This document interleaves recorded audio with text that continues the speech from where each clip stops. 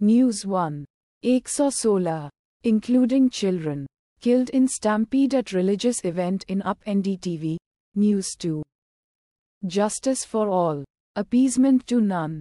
10 quotes from PM Modi's Lok Sabha speech. Mint Mint. News 3.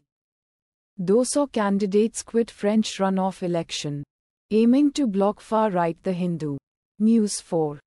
NEET PG 2024 exam to be conducted on this date.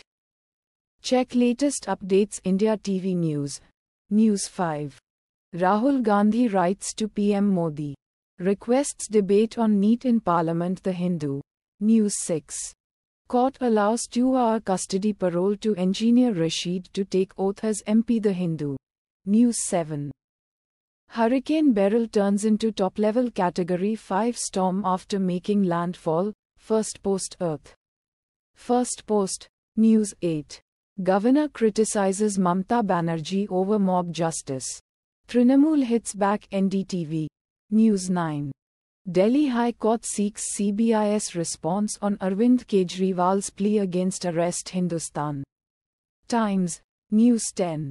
CJI DY Chandrachud declines to comment on new criminal laws. Says issues are sub judice live law Indian legal news.